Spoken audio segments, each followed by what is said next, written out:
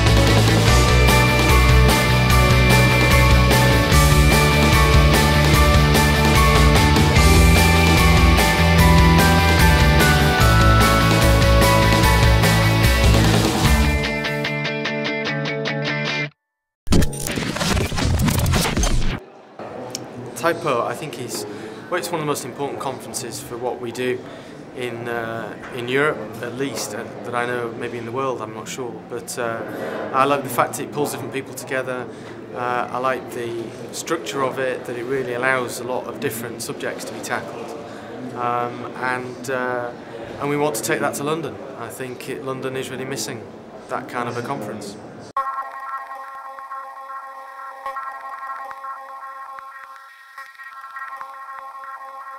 Thank you.